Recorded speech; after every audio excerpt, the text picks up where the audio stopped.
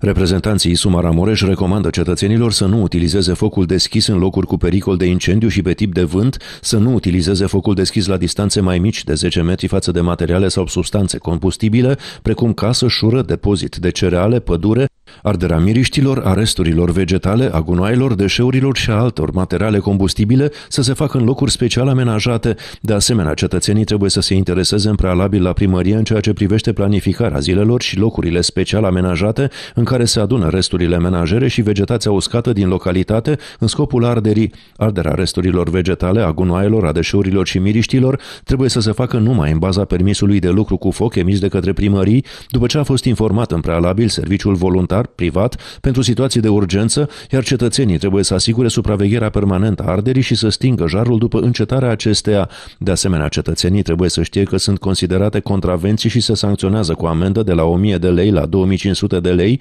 arderea resturilor vegetale, a gunoaielor și altor materiale combustibile fără obținerea permisului de lucru cu foc și fără luarea măsurilor pentru împiedicarea propagării focului la vecinătăți.